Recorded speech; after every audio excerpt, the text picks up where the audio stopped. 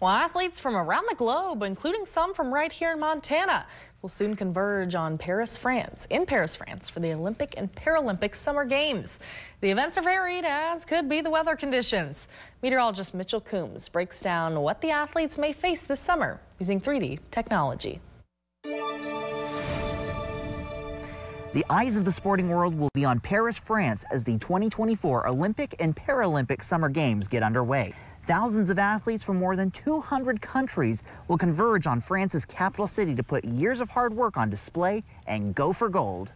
One other competitor that did not receive an Olympic qualifying berth for any particular event or country will still be an impactful participant in this year's Summer Games, Mother Nature. Athletes in Paris will have to face a wide range of weather conditions from heat and humidity to heavy rainfall and strong winds. When heat and humidity combine at the extreme end of the spectrum, they can create conditions where the human body's ability to self-regulate temperature through sweating is no longer enough to overcome the outside conditions. It is at this point where heat cramps, heat exhaustion, and heat stroke become a real concern. Participants of field hockey, rugby sevens, and long distance track events will be the most susceptible to these conditions. While a bit of rain can offer some welcome cooling, it could also cause athletes to use more energy and struggle with visibility and grip.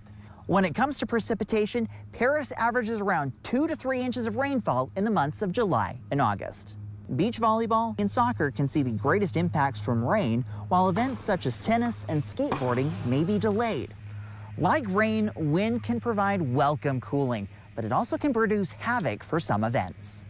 This is especially true of archery and outdoor shooting events where the projectile and or target's trajectory may change slightly. In these events, victory and defeat can be determined by the smallest of margins. One particular set of events is literally driven by the wind, sailing. The direction and speed of the wind will help competitors select the fastest path through the course. Then we have track and field events in which all competitions will be impacted by the wind in some way. A tailwind can enhance an athlete's speed and distance in certain events, while the opposite is true in a headwind.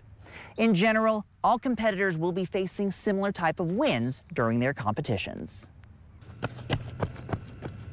However, the speed of the wind could impact the legality of an event or world record result. The International Association of Athletics Federations recognizes the effects of tailwind and has set strict criteria.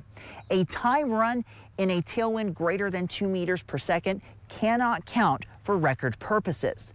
These winds may seem quite minuscule, but in races determined by fractions of a second, this can lead to a vast difference. 2 meters per second can lead to a change of 0.1 seconds. While the competitions pit teams and individuals against one another, they all will be adjusting to the great equalizer, the weather. During these summer games, let's cheer our local athletes to Olympic gold and bask in the Olympic spirit. To find out what the weather will be like for your next local sporting event, visit our website, nbcmontana.com slash weather. Running and reporting in Missoula, Mitchel Coombs, NBC Montana.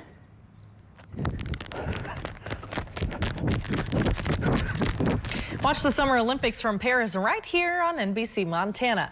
The opening ceremony is July 26th and competitions run through August 11th. You can always find some more details on our homepage at nbcmontana.com.